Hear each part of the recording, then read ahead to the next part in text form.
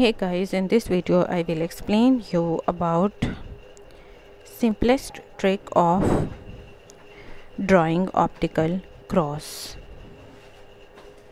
This is direct step of optical cross.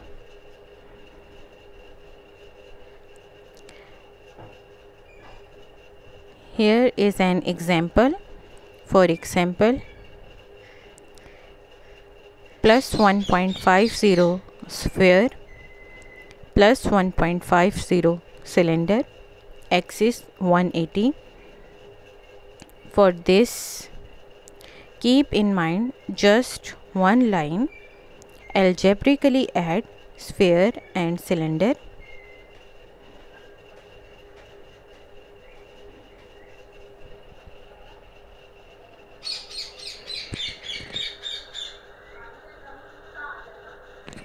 and axis is of sphere.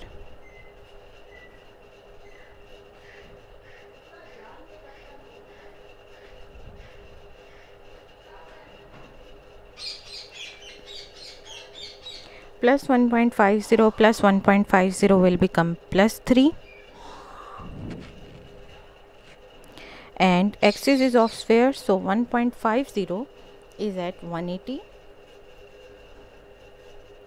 plus 1.50 at 180 algebraically add sphere and cylinder so plus 3 will be at 90 this is direct step of optical cross. Thank you for watching my video and for more such videos subscribe my youtube channel optometry world